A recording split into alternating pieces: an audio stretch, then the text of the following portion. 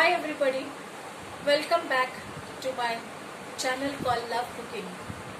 Today in another series, I'm going to show you a new variety uh, which everybody probably must be knowing it, Shahi Paneer Curry. This is prepared by many of them in uh, different ways. So the way I prepare also is different and very easy. Uh, I'll be explaining you step by step and it is very easy. Anybody can prepare at home. Once you keep trying it you can keep preparing. And then slowly you will understand how to make it. So unless you try it you will not be able to prepare. So keep trying whatever the dishes uh, you like. And especially this dish which is very easy and easily available. And uh, since uh, it's a lockdown period also continuation of lockdown period um, so we prepare I am preparing for about uh, 15 uh, people, for 15 members. Um, so I'll be giving give, giving this uh, food, this dish uh, to distribute for a certain amount of people, 15 people, because we cannot call them home. So from home I'll be giving the parcel. Uh, so uh, let's start this video. It is a very simple one, and I hope you all would like it. So let's go and start making this dish. So in this process first we are going to make the masala. So in this we have taken around 8 to 10 onions which I have cleaned it and nicely peeled it, washed it thoroughly 2-3 times and around 1 kilo of uh, tomatoes, 1 kilo of tomatoes, around uh, then 1 kilo of onions, uh, nice big size onions, cleaned it, washed it twice, all of them and I'm going to cut it in small pieces and about few green chilies which I have taken very few at 10 to 12 number uh, because uh, some children are small. So according to that I have uh, not used much of green chilies. So all this I am going to cut it in small pieces and grind it to a smooth paste. We have cut all this. Now you can see we have cut all the onions tomatoes green chilies all of them into small small pieces. Now we are going to grind all of them into a nice fine smooth paste in the mixer. See now we have taken uh, we have taken now a heavy bottom vessel or it's called a kadai also. And now in this because we are going to prepare for uh, 15 members so we, I bought around 1 kilo of paneer which is also called cottage cheese. So I will just uh, continue showing how we are going to make it. So in a heavy bottom pan we have taken around 4-5 tablespoons of oil. It can be any oil refined oil I have taken and now till this gets nice hot now I will be adding the grinded which we ground the paste of onion, tomatoes and green chilies. So this paste we are going to add in this slowly slowly. Be careful, be away a little bit from the gas because there is water content in this.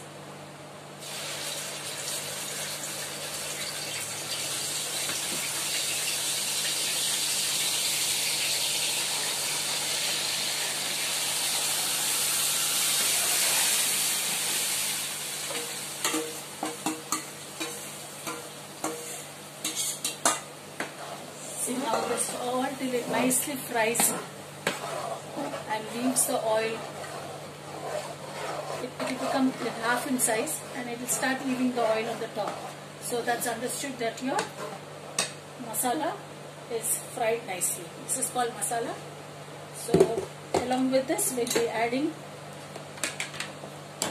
which I already have with me. This is of ginger garlic paste with uh, mint leaves and little bit of green chilies and coriander leaves. So this already I always preserve and keep it in the fridge for a, for a week at least. So that also I have added around 2 tablespoons in this and now let this nicely cook. It will take 5 minutes. Let it nicely cook on high flame. Now we can see that all the masala is fried nicely. See the consistency has become lesser than half. And the oil also had come up little, but I mixed it up. So this is nicely fried. So now in this I will be adding some coriander powder. Coriander powder around uh, 2 tablespoons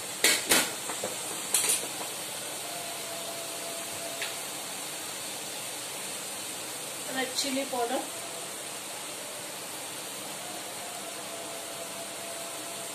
around 2-3 tablespoons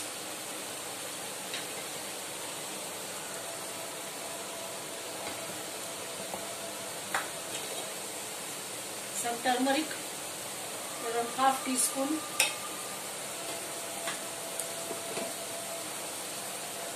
little bit of acetophobia which is around quarter teaspoon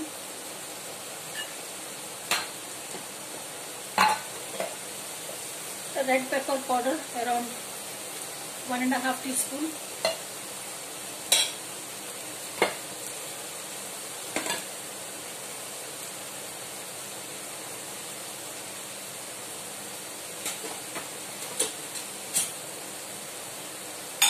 garam masala powder around 2 teaspoons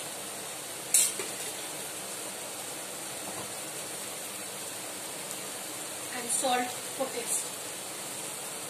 I put around 1 tablespoon. Later on you can add if you check the salt and if you want to add or not add you can um, after you checking the taste you can add it.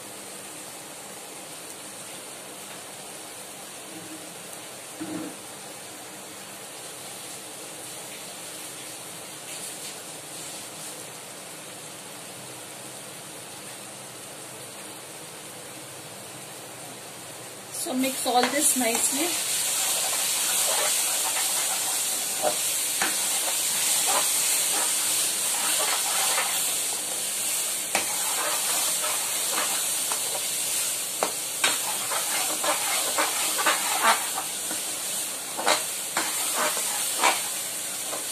Can see the little bit of color change.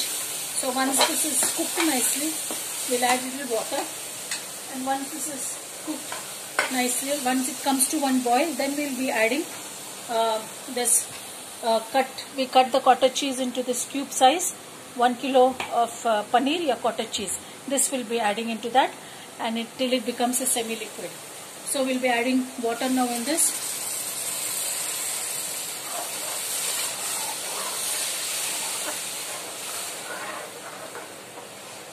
I'll be adding little more water.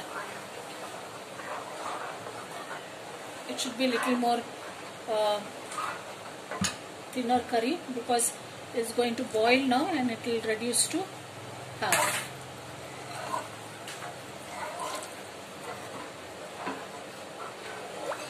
So this much water we added. You can see the consistency, the liquid. So this will become little more, a uh, little bit to half, not not exactly half, but little more, little more thicker it becomes. Now in this we'll be adding the paneer which we have cut. So along with this, this will boil nicely. We no need to fry first the paneer. Some people fry the paneer and then add, but when we are making curry, the, the paneer should be soft. So once you fry it, it becomes a little harder. So that is another dish, but uh, for this dish, there is no need for to fry the paneer. So when this cooks, it, will, it is the same, it has the same, same texture, which is soft. So it's nice, easy to eat. So I around put one kilo of cottage cheese into this.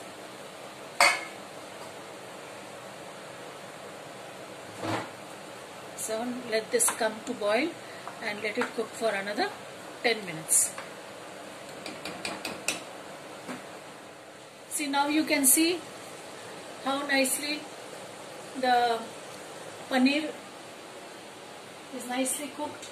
You can see the curry, the consistency of the curry should be like this consistency. It's a little bit thicker. This is nice, thick. This much is enough. You can see the consistency. And the paneer also is nice, soft. As it is, it is soft, but after cooking it is more soft with all the masalas in it. So it is come out very good, the exact way which I wanted. Now in this I'll be adding, I've got this Amul fresh cream uh, I'll be adding this cream into this to give it uh, more good texture and creamy texture and plus the taste completely will change it will look it will taste uh, uh, much more better than uh, this ordinary uh, like this uh, type of curry. When you add the cream when you add cream to this uh, the whole curry taste uh, texture will change a little bit and it is uh, more tastier. So I'll be adding the cream to this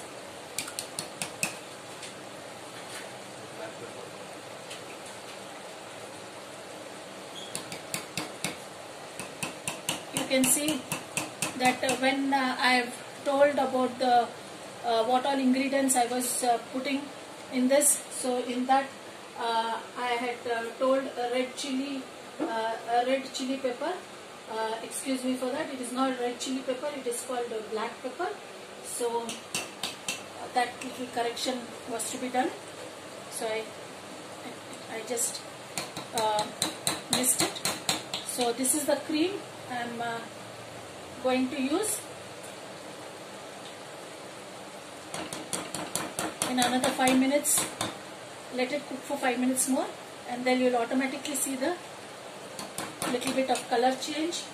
Plus you'll understand the texture wonderful texture and a very nice taste also will come when you put this cream. Let it cook for 5 minutes see we have taken one bunch of coriander leaves nicely checked it washed it 3-4 times so that um, all the mud and anything else is there that will be gone. So keep always check and wash it 3-4 times. Soak it in the water for 5-10 minutes so that any mud and all it will settle down and throw that off so I took one bunch of uh, coriander leaves cut it in small. Now I'm going to sprinkle this this is the final touch of the dish almost the dish is almost done. So you can see. See you can see how nicely the texture has come. The color also changed. It was reddish in color now it has become whitish because of the cream and all. And this taste is also very good. Very little far because bubbles is bubbling now the final thing is to decorate it with it garnish it with uh, I off the gas, it's done. Now garnish it with this coriander leaves and just mix it up. So this is how we prepare uh, Shahi Paneer curry. This is the way we prepare, easy way of preparing Shahi Paneer curry. I hope you all would uh, like it and uh, try it at home uh, with your family, with your loved ones. Keep trying it. Unless you try it, you won't uh, understand to do it. And whoever knows it, try something different. And uh, thank you for watching this uh, program, this video. I hope you would like it and also please comment on it and uh, uh, share it and subscribe. God bless.